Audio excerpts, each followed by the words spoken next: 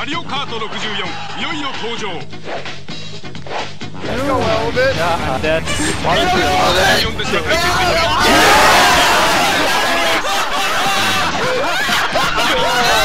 Danger Dolan, strats for all Throne of Thunder encounters, whether you're tank, heal, or DPS. Refer to the links below this video for the guide that caters to your role. Mechanics. Here's how the fight works. Tortos is your boss, and he will not move from where he stands, but he will send spinning turtles at you every minute, as well as a colony of bats. Stalactites are going to fall from the roof, easily avoidable so long as you're not standing within the blue circle on the ground from when it drops. The circles are hard to see, so keep your eyes peeled indefinitely. Tortos will be generating rage throughout the fight. When he reaches 100, he'll cast Furious Stone Breath, which kills you. You can interrupt this as it happens by kicking a turtle at the boss a la Mario Kart.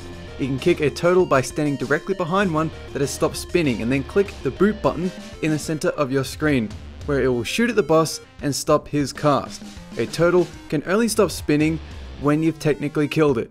For heals, I have no tips except for the following. When your off tank picks up the bats, you cannot let him drop below 350,000 health, or the bats will heal themselves and take longer to kill.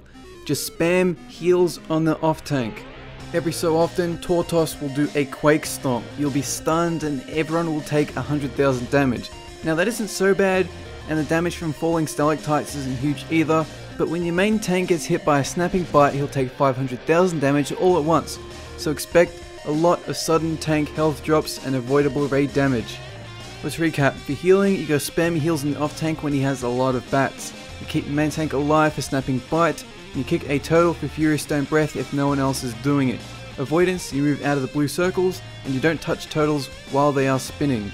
That's it. Click the annotation you see on screen for the other boss guide playlist. If you click that nice looking subscribe button at the top left, then all future guides will come right to you.